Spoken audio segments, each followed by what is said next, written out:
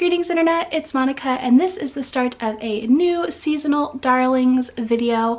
I'm so excited, I always love sharing what I have been loving with you all. If you're unfamiliar, my darlings videos are basically my take on the classic YouTube favorites video. I just like to call it my darlings because I think it's cuter. and I also wanted to test out this new format of kind of doing it vlog style and taking you around my space to show you each of the things that I have been loving like in their natural habitat, makes sense. So I'm excited to try out this new style and just see how it goes. So I'm gonna kick things off with fashion and I'm really excited because I'm actually getting to partner with one of my favorite jewelry brands, Ana Luisa, for this video. I love Ana Luisa because their jewelry is really high quality at a really fair price while still being sustainable.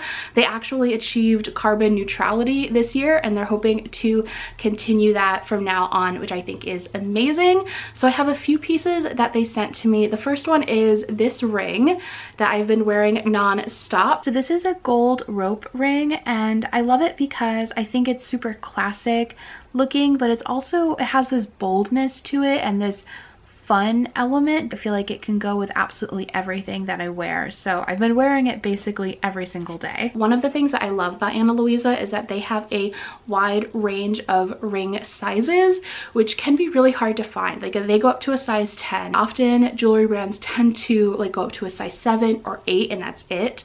So I was really excited to see that they actually go up to a size 10 because that makes them much more inclusive, which I think is amazing. I also got these earrings absolutely love these because they're so delicate and whimsical looking. I love the moon with the gems dangling below them and the fact that they're these really soft pastel colors. They're just such lovely earrings that I love getting to wear. They give me such Sailor Moon vibes and then this heart and key lock necklace that I think is so precious and dainty. I love it so much. I love this necklace for a variety of reasons. First, the design is amazing. I think it's so romantic and delicate, but I also love that each sale of this necklace gives back to the Korea Cyber Sexual Violence Response Center. I think that's just amazing. So yeah, I adore each of these pieces. I've been wearing them nonstop and they're so comfortable and beautiful and yeah, I just adore them. So thank you to Ana Luisa for partnering with me for this video. Now continuing on with some more fashion faves. So another fave is this current sweatsuit that I am wearing. This is from American Eagle and I love it because it's this light blue tie-dye, but it kind of looks like clouds. I don't know, I love a cloud. I feel like if you follow me anywhere, you know that I just, I love a good cloud. I think they're so pretty. So I love that this just looks like I'm covered in clouds. I will say, I got this in a 2X and I could have definitely sized down, but I also like that it's really oversized because it's just super comfy and it's so soft. So if you're looking for a good sweatsuit right now, this one is great. Another thing that I have definitely been loving, and this is a bit of a splurge, is definitely this dress here. So this is the puff dress from the brand Selkie, and I've worn it a few times on my Instagram, so I'll put some photos, but I love this dress so much. If you are in the market for a nice dress for something, not that anyone should be going to events, but if you are in the market for a nice dress, that one is definitely a favorite. It's so like flattering and I don't usually like that word, but it's just like because it is like this baby doll fit, it just I don't know, I just love it. I love the way it looks on me. I love the way it makes me feel. I love how short it is. It's so cute. It's amazing. So now I'm gonna bring you over to my makeup station. I have been loving quite a few things. First, obviously, the hair. It's different. I am back to my natural color. I haven't really talked about this at all on here, but I have a whole Instagram like essay where I talk about why my hair is brown again and my feelings on it, which are much more complicated than I thought they were going to be, but honestly, I have been loving being brunette lately. I, I just have found it to be so fun and just to experiment with new ways of styling my hair and clothes with my hair has just been, I don't know, a new adventure for me. And obviously I still am wearing and loving wigs. So, you know, I can still have peach hair when I want peach hair, but I have been loving um, just playing with my brown hair and having brown hair. I feel like sometimes my bangs look cute and sometimes they don't, but whatever. So some beauty favorites for me. The first one is this little dinky dude. This is from Milk Makeup. It is one of their blushes. This was actually the Sephora beauty present for 2020. So if you have a birthday this year, you could still get this. It's just such a beautiful, like, glow, like natural glow. So I just like rub it on my face and then I tap it in. Another face favorite has been this Fenty Beauty Matchstick in Amber. It is the perfect contour color if you are paler. I have really struggled with finding a contour color that doesn't look like too orange or too ashy on me like and but this one is perfect. I really just use this on my nose. So I just do that and then I blend it in and with I do everything with my fingers basically. It's subtle but it's enough and it's really easy to blend if you're new to contour like I am. Like I am not good at contour so I think that's really easy and that's all I really do as far as contour is concerned. I don't really do a lot more. I've also been loving this from Ofra Cosmetics. This is their highlighter in Pillow Talk. This was sent to me unsure when I became a beauty guru but you know what? I'll take it. Um yeah so I've been obsessed with this stuff. It's it's like the most amazing highlighter. It's so intense. Um, and I feel like it's not gonna show up great because I'm right in front of sunlight right now uh, but it's so pretty. Like, I get it. I get the hype. I get why NikkieTutorials loves Ofra Cosmetics. This stuff is no joke. So I just did a really quick makeup look using my favorite Sailor Moon palette. I just used the two purple colors and I love this palette. It's amazing. I use it almost daily. Um, now I'm going to be doing my eyelashes. I have been obsessed with these magnetic lashes. I watched this YouTube video of this girl who did a comparison of like all of them and she compared like the Amazon cheap ones to like the really expensive like Glamnetic ones and she said that this set was like a duplicate basically for Glamnetic. Like the eyeliner was the same, the lashes were different, but like really what matters is the eyeliner if that's the same. She said the eyeliner was really similar and I'm really glad that I bought this one instead because the Glamnetic one is like three times the price. It's like 70 some dollars. You get one pair of eyelashes and I think one eyeliner. In this kit you get five pairs of eyelashes, two eyeliners, and a little applicator tool. So I've been really loving this um, and just experimenting with it. I will say that it definitely has a little bit of a learning curve. It's just a lot thicker than a normal eyeliner is because of like the magnetic particles in it. Uh, so there's definitely a little bit of a learning curve, but I do actually really like it a lot more than glue lashes. I feel like they last a lot longer um, and I like the way they feel. Um, it is also like, I will also say that if you're gonna be using these, you have to have an oil cleanser. Like it's the only way you're gonna actually get this eyeliner off your, off your skin. Um, so today, I think I'm gonna go for a more dramatic lash look. Uh, so I'm gonna do these babies. And but like once you master the art of the actual eyeliner, putting these on is so easy.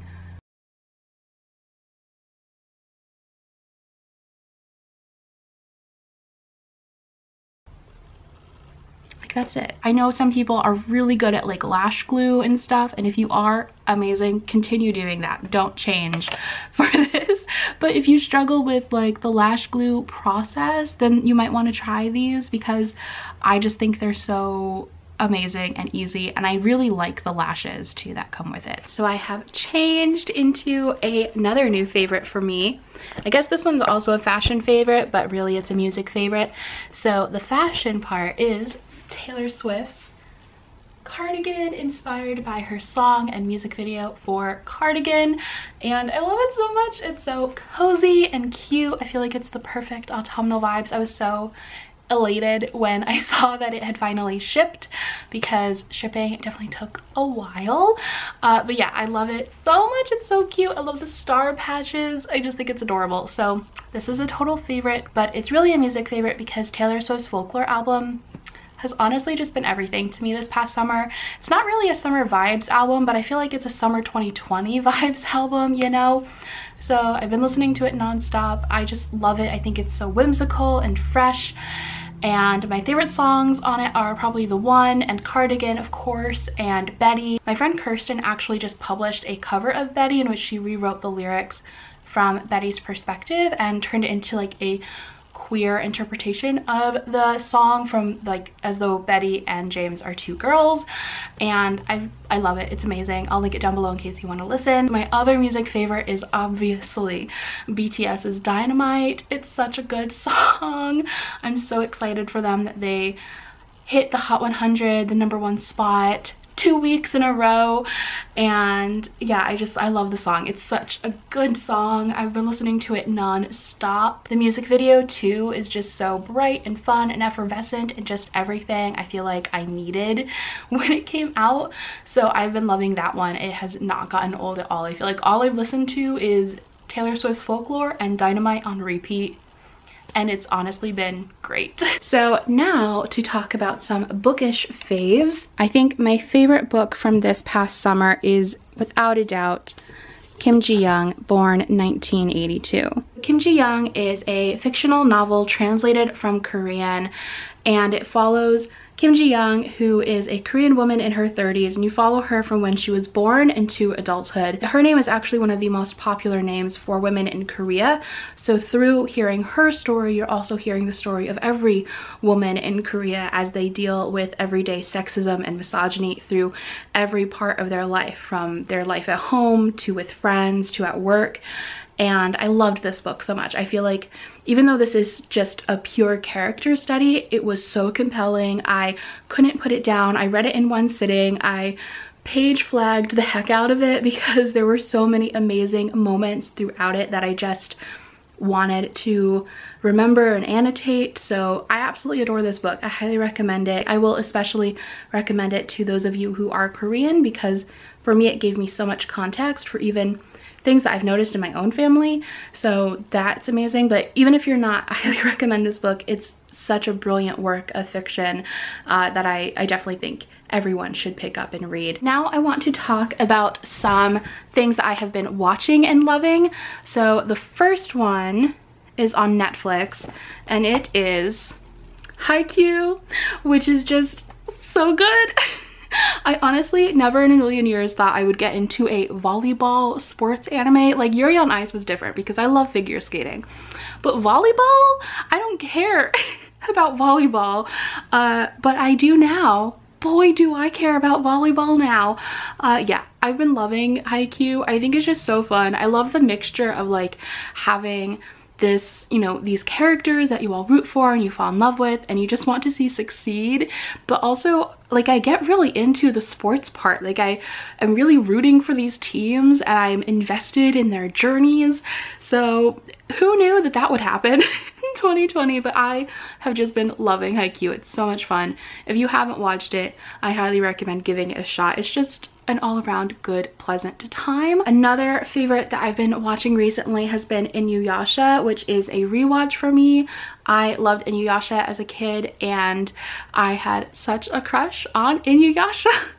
Still maybe do apparently but yeah i love it so much. It's so much fun and a bit darker than i remembered it being to be honest. Still in season one so i'm definitely taking it a little bit slower uh, than I would maybe like, but I had a lot of stuff going on, okay? but I'm definitely hoping to pick that back up now that my room is done and I can actually have like do fun chill things again. But yeah, I love, I've been loving Inuyasha, obviously been loving Haikyuu. Another show I've been loving is I-LAND, which is a reality show put on by Big Hit, which is the um, company that BTS is under. And it's so good and so intense in some ways like the aesthetic of it and the way that they have the challenges set up it just it can feel a little dystopian at times but i'm so invested in all of these boys and their dreams of being k-pop idols. I just want good things for so many of them. I am very behind though so please don't put any spoilers for the show in the comments down below about who's been kicked off because I don't know. I don't know those things, but I have been loving it as far as I've watched it. I just have to catch up now because it's been a few weeks since I've last watched. Um, but I know BTS has been on it already. I haven't watched that episode yet and apparently they're going to be on the season finale which I'm so excited for. If you like reality competition shows, I think you should definitely check it out. It's um, definitely different from the way American competition shows are set up. So honestly, I feel like it might just be interesting for that reason alone. It's on Viki if you have that. Now, I don't always have a games section in these videos, but lately I have been playing games nonstop with friends. So obviously we can't see our friends IRL right now. So I'm really happy that I have like a core group of friends that we have just been getting together almost every night to hang out on Discord and play various games on the Switch and also a new special game that I have just become obsessed with. It's called Among Us. I guess it's been out for a while, but I feel like it's recently had a big surge in people using it or people playing it. But I feel like recently it's gotten a big surge in people playing it and it's amazing. Basically, it's kind of like Mafia. You are on a spaceship and you have to, as a crew, figure out who the alien imposters are before the imposters kill all of you. And it's just such a fun time because it's a game of persuasion and wits and like hide and seek almost a little bit and yeah it's just it definitely gets the heart pounding when you're like running around trying to kill people or trying to not be killed and complete all of your little tasks on the spaceship. And then of course yelling at your friends and accusing them of murder is just a great way to spend an evening. We love a we love a no makeup look. Hi Same. friends. No makeup. Like, we're just murdering each other and it's it's a good time playing yeah. some Among Us. Casual Saturday night. Every time Francine is like so close to her face. I've played it basically every night for the past couple of weeks. Um, and then for the Switch, I have been loving Clue and Uno, which sound like such basic games, but they're so fun when you like are in a Discord voice chat and playing it with people. And then of course Mario Kart, which I have been trying to get better at. I have I'm always in last place every single time. So if any of you have Mario Kart tips, please leave them down below. I need to get better. I just want to like shock everybody and like one day come in first place. I feel like that would be the upset of the century because uh, I am literally almost always in last. It's a sad time. So I thought I would also take you around my room and show you some favorite decor pieces that I didn't show in my room tour and also that I just wanted to share with you all. First over here on my windowsill is this lovely Namjoon standee. I just think it's so beautiful. This is from an Etsy creator. I will link her down below. Or not Etsy, sorry, Instagram creator. Her name is Moonrose Cafe and her stuff is just so lovely. So I love my little Namjoon watching over me as I do my stuff, my work on my desk. I also love this heart-shaped mirror. I got this on Amazon and I just think it's really cute and it's great for putting makeup on. I just realized that that hat fell, so I will fix that after I film this video.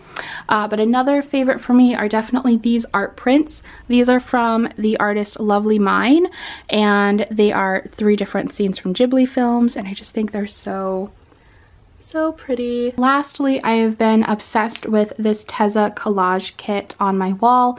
I just think it makes this space look so much more interesting and adds a lot of good texture to the space.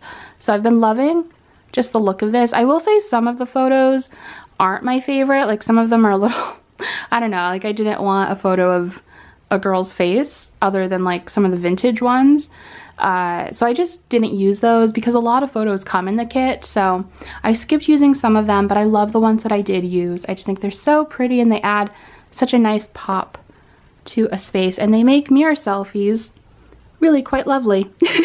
so yeah, those are my darlings from this past season, the things that I have just been loving and have been obsessed with. I'd love to hear from you guys what some of your favorites have been, whether that's been what you've been reading, watching, eating, playing, what have you. Let me know in the comments down below. Thank you again to Ana Luisa for sponsoring this video, and I'll talk to you guys next time. Bye!